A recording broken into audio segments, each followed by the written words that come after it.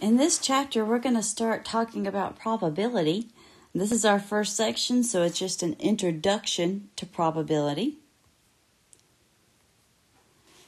To begin our discussion, we need to define a few terms. First, a trial or probability experiment is any process that produces a random result, such as drawing a number from 1 to 10 out of a hat.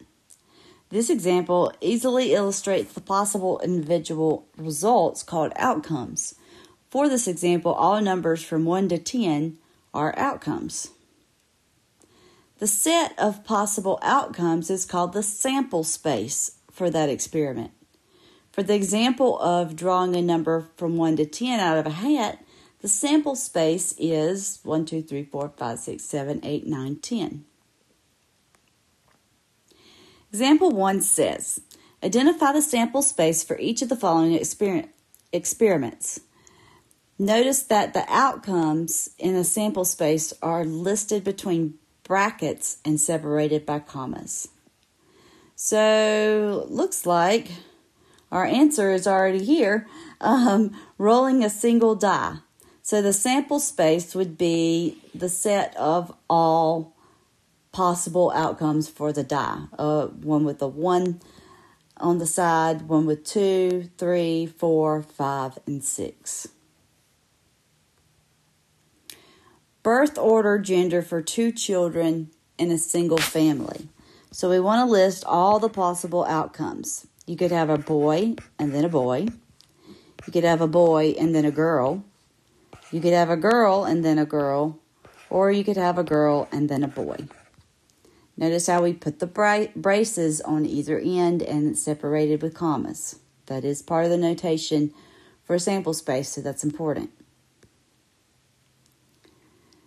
So we've already discussed those definitions.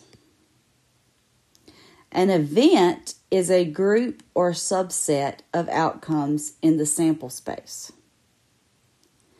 And classical probability is the number of possible outcomes in the event divided by the number of outcomes in the sample space. So, how many possible income outcomes could there be over the total possible outcomes? Suppose you were asked to draw a card from a standard deck of 52 cards. A standard deck of cards contains the following we have red cards, they're the diamonds or the hearts. There's black cards, they're clubs or spades.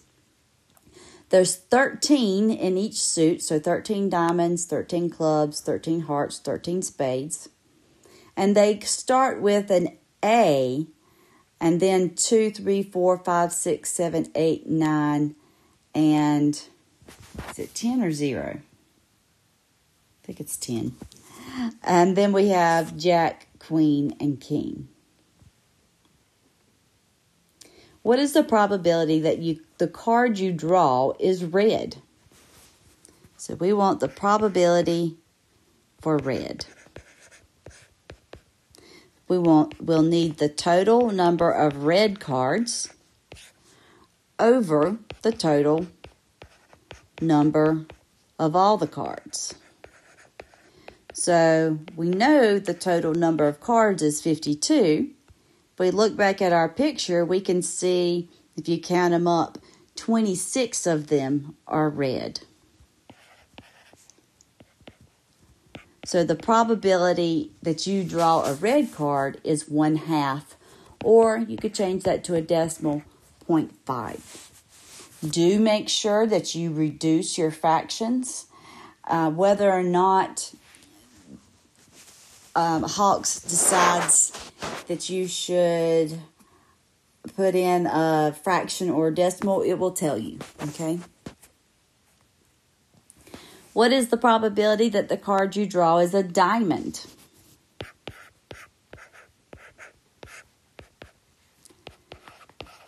So we need to look and see how many diamonds there are. If we count them up, there are 13 and that reduces to one fourth, or as a decimal, 0.25. What is the probability that you, the card you draw is a face card?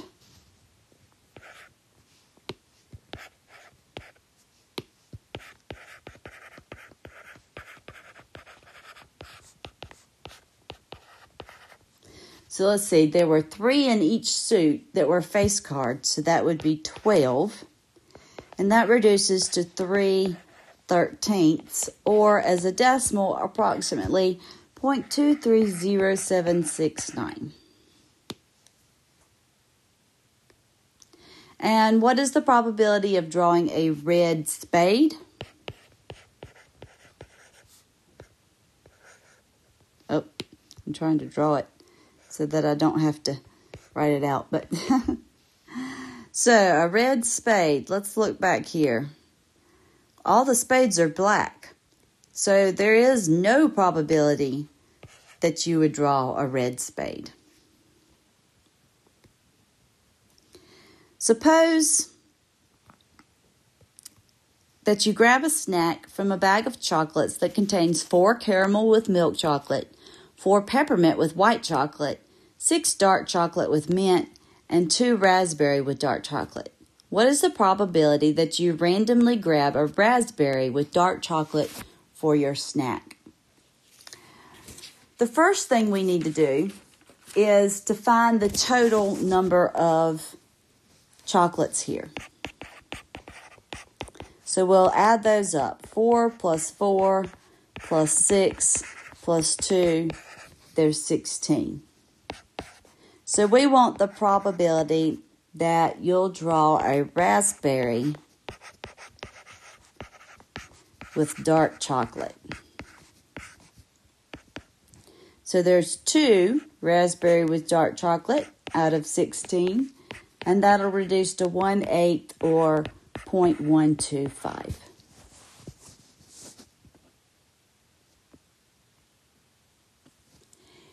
Empirical probability is the number of times an event actually occurs over the number of times the experiment is performed. So, with empirical probability, most of the time you're looking at an experiment that has been performed. So, the first one, classical probability, that's sometimes called theoretical probability, is based on theory. It's what you expect to happen. Empirical is based on something that you've, a, an experiment or something that you've actually been performed to try out. For her elementary school science fair project, Libby is conducting research on the accuracy of weather prediction from her local news channel. She recorded the forecast and the actual weather for two weeks. The following table shows her results. So the forecast for the first day was rain, and it actually rained. The forecast for the second day was a chance of snow, and it rained. Seems to happen a lot here in the mountains. And then the third day, the forecast was snow, and it actually snowed, and so forth.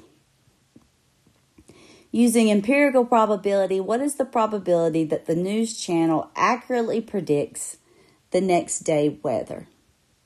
So we want to, the probability of a correct prediction would be the number of correct predictions out of the number of days recorded.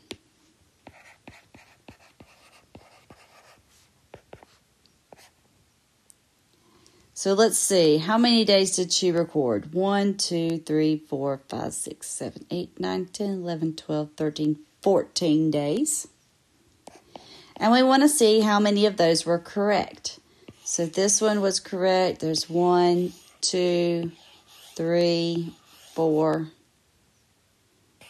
five, six, seven, eight. Eight correct and we can reduce that to 4 sevenths or 0.5714229. And so you could actually say that the probability that the news channel is correct is about 57%. They're correct about 57% of the time. Not very good. Determine if the scenarios given are examples of classical or empirical probability techniques. Katie is curious about her chances of winning an e reader from the Student Government Association.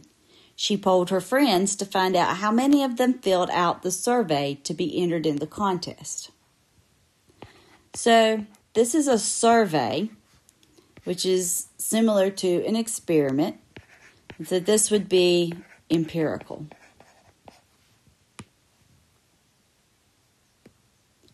Tristan is interested in his chances of winning at the blackjack table. He determines the probability of what his next card will be by knowing the cards that have already been played. In this case, all cards have an equal chance.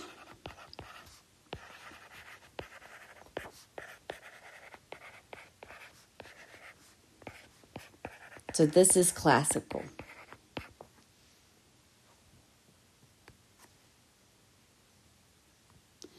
Based on the recent United States Census, the local government estimates the amount of growth the community will experience in the coming years.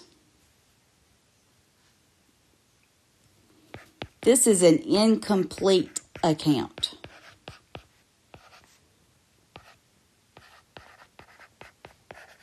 It's not based on every situation possible.